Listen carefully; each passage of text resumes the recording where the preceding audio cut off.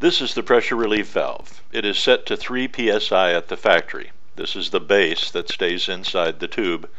The other two parts are the cap and the relief valve core. Use a screwdriver to gently pop the cap off. This is a one-way valve that allows air to escape when the pressure is above 3 psi. This keeps the boat from becoming overpressurized, which can happen if too much air is put into the boat, or if the boat is overheated from direct sunlight, or other warming event.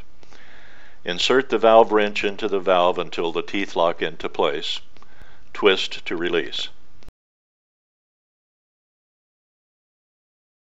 To replace the relief core, hold the base section with your hand, insert the new relief core into the base, and tighten.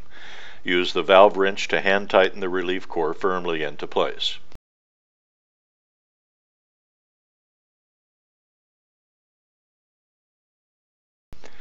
These are the basic parts of the fill valve assembly and the pressure relief assembly.